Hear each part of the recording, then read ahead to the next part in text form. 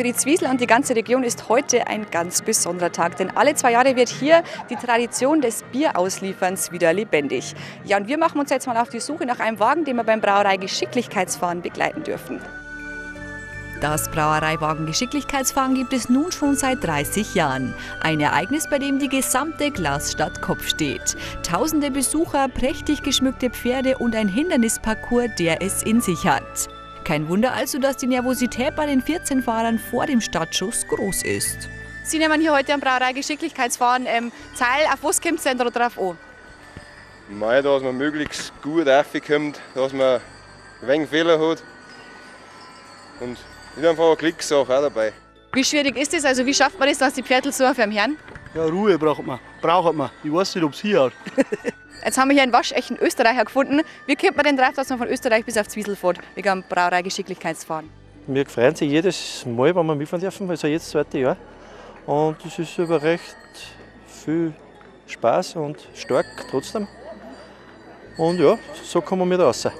Ähm, auf was kommt es denn da drauf an beim Fahren? Also wie schwierig ist das Ganze? Ja, also es ist schon extrem schwierig. Man kann nicht wirklich schnell durchfahren. Es kommt wirklich aufs Geschick von Pferd und Kutscher, sage ich mal davon, und Beifahrer, ganz wichtig. Nach dem Startschuss gilt es, den Hindernisparcours mit möglichst wenig Fehlerpunkten zu absolvieren. Dabei müssen die Fahrer Fässer umfahren, eine Holzbrücke überqueren oder einen Wasserlauf souverän meistern. Die Tradition besteht darin, dass das Hindernisfahren hier in Zwiesel ausgelegt ist, wie früher Bier ausgeliefert worden ist. Also früher hat es ja keine Betonbrücke gegeben, sondern nur Holzbrücken.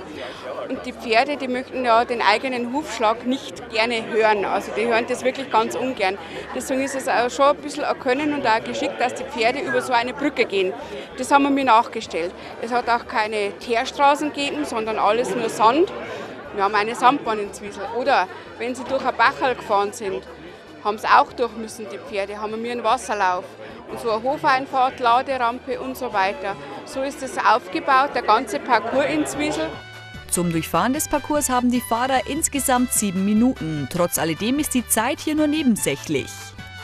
Das Brauereiwagen Geschicklichkeitsfahren ist deshalb besonders, weil es bei uns zwar auch auf Zeit geht, aber absolut kein Rennen ist. Bei uns, sagt der Name schon, geht es auf Geschick und auf den Gehorsam von den Pferde, auf das Können, was der Fahrer kann, die Zügel am Kutschbock aus, dass er da fährt und die Pferde lenkt. Das Brauereiwagen Geschicklichkeitsfahren wurde vor kurzem mit der Goldenen Bieridee 2018 des Bayerischen Bauernbundes und des Bayerischen Hotel- und Gaststättenverbandes ausgezeichnet. Nicht nur daran zeigt sich, wie wertvoll Veranstaltungen wie diese für die Region sind. Durchgesetzt hat sich letzten Endes die Startnummer 1 Martin Pauli, der mit seinem Wagen der Brauerei Falterbräu Draxelstried unterwegs war.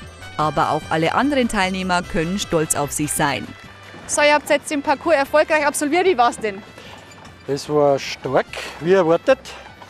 Aber ich glaube, wir haben es halbwegs, halbwegs gut umgebracht.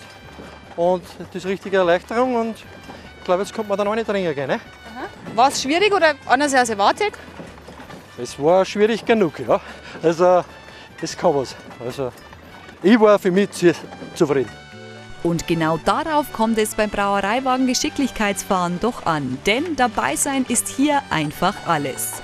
Und schon jetzt freuen sich die Fahrer, in zwei Jahren in Zwiesel wieder beim urigen Geschicklichkeitswettbewerb ihr Können unter Beweis stellen zu dürfen.